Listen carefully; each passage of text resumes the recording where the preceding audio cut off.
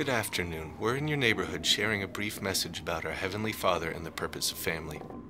Do you have a few minutes to talk to? Do you have. Oh, guitar. Do you have a few minutes to talk?